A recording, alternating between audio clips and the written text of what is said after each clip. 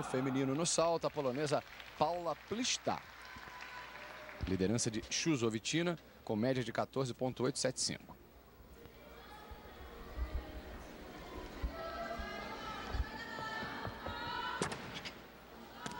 É, a gente está vendo aí é, que o nível da, da prova de salto não está como o cavalo com alças, né? Os atletas estão apresentando saltos com grau de dificuldade baixo, relativamente baixo. Aí você vê a reversão mortal para frente, carpado com meia volta. Ela chega com o tronco perto do solo, o que perde muitos pontos na aterrissagem. Ó, você vê que ali ela chega muito baixo, dá um pequeno pulinho para frente, porque faltou um pouco de altura. E aí a execução não é lá grandes coisas, a nota de dificuldade também não é alta, está realmente é, mais perto a Chusovitina do ouro. Agora ela vai fazer o segundo salto, não acredito que consiga superar a ginasta do Uzbequistão. Pelo menos acima de 14. Segundo salto, para a gente tirar a média daqui a pouco. Treinador ali atrás, Paula Prista, é da Polônia. É, são atletas também não muito conhecidas, né? Então, de, normalmente entram nessas etapas de Copa do Mundo para ganhar experiência, para fazer campanha para os árbitros.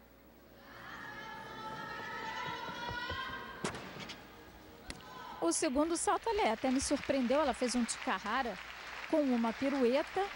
O Tsukarara é quando a ginasta entra de lado no cavalo e sai fazendo um mortal para trás. Tsukahara é o nome do ginasta que criou esse salto.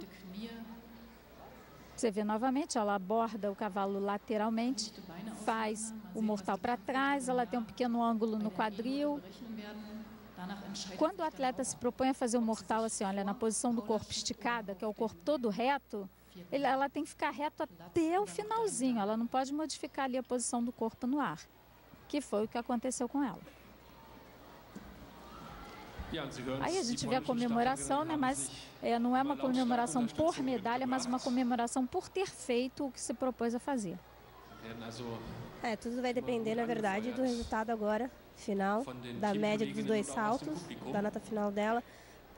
Tivemos uma, uma prova de salto mais simples do que com certeza de cavalo com alças. A Oksana tem uma nota disparada na frente das outras, porque apresentou um grau de dificuldade muito forte nos dois saltos, fora a execução, e as outras ginastas com um grau de dificuldade mais simples, e por isso ela teve uma nota tão alta, quase um ponto de diferença entre as outras ginastas. Notas altas de dificuldade, execução também, né? Os componentes, os critérios que de composição da nota, de cada nota que elas vão recebendo. Essa, pelo jeito, sem consenso, consenso até agora. A de Paula Plista, Primeira nota 14.05, a segunda aí dá algum trabalho, André. Agora sim, na média 13.9, que vale para ela a terceira colocação por enquanto. Só falta uma eslovena, mais uma eslovena, Kiselev. Antes a gente volta para o cavalo com alça, só falta um nessa alternância, né? No cavalo com alça, prova que é masculina só para homens. Círio Tomazon, no último Mundial, foi medalhista de bronze, hein?